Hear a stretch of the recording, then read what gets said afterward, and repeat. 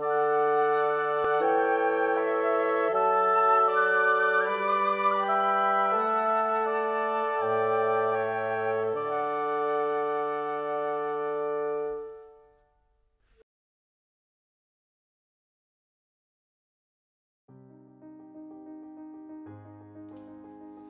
sabato Gesù passava fra i campi di grano e i suoi discepoli coglievano e mangiavano le spighe, sfregandole con le mani.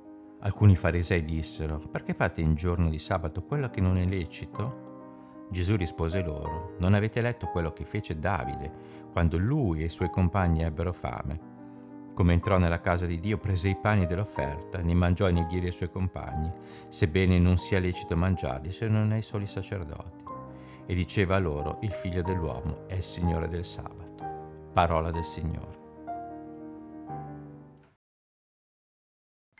Sia lodato Gesù Cristo, carissimi fratelli, questo è il Vangelo di oggi, sabato 4 di settembre, quarto giorno della contemplazione nel mese degli angeli e anche forse quarto giorno della contemplazione del nostro angelo custode che deve essere il nostro primo riferimento, quell'emissario, quel messaggero che Dio ci manda per starci accanto, accanto in ogni, in ogni situazione, quindi potremmo averlo accanto anche nel momento della nostra mensa in cui noi ci apprestiamo a rifocillarci, a rinvigorire le nostre forze attraverso il nutrimento. Allora quando vediamo una sedia o più sedie vuote, appunto possiamo invitare il nostro angelo custode, come possiamo invitare il nostro Signore a banchettare con noi. Penso che sia una cosa molto bella e anche un qualcosa di molto, molto tenero per far capire, Signore Gesù, tu ci sei, non ti abbandoniamo, allo stesso modo anche il tuo angelo custode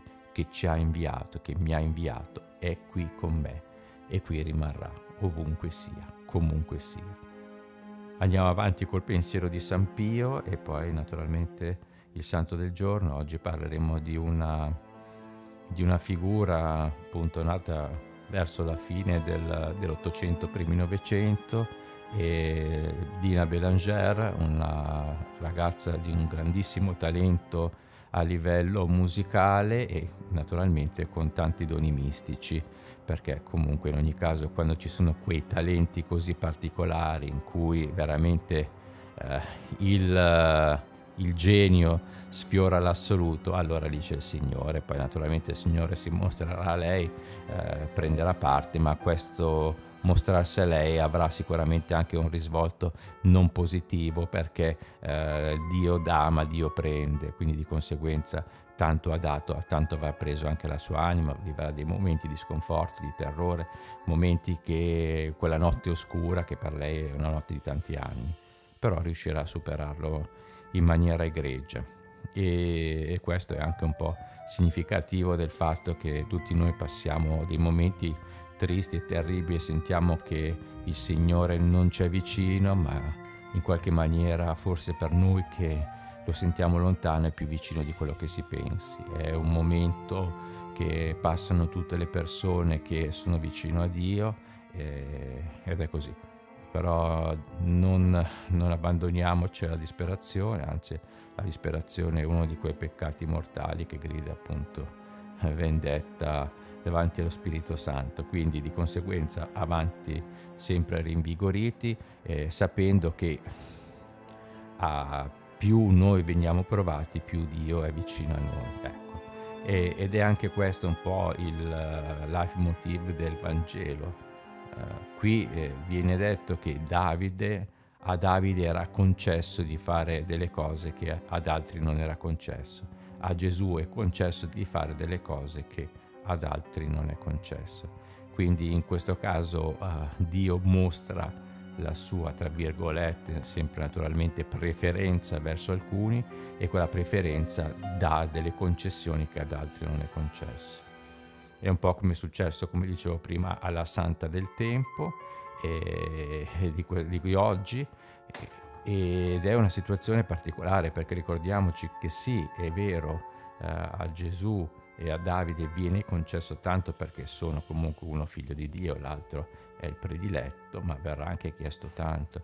Quindi mh, mm, non pensiamo che essere prediletti di Dio significhi avere una vita, come dire così, perché anche Dina Belanger ce l'ha detto, lei ha avuto tanti doni mistici ma pagati ad un prezzo altissimo. Il figlio di Dio sì aveva eh, tante concessioni, ma a che prezzo ha pagato queste concessioni? Eh, non solo con la sua vita, ma con una morte orribile.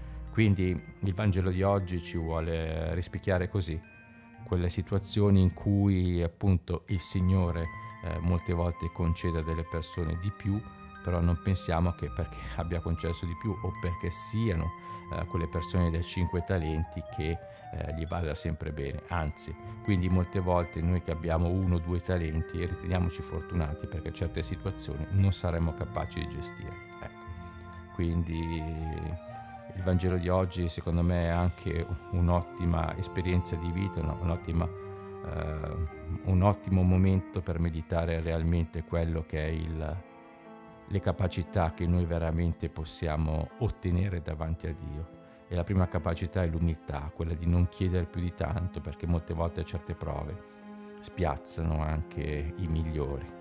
Quindi quando noi vediamo i sacerdoti cadere, persone che magari hanno anche un'alta carica all'interno della Chiesa cadere miserevolmente, e lì abbiamo capito che probabilmente quelle, quei loro talenti non sono stati in grado di gestirli bene quindi molte volte eh, quell'essere amati da Dio spesso non è ricambiato e quello che dovrebbe essere una grazia diventa una disgrazia. Se l'ho dato Gesù Cristo.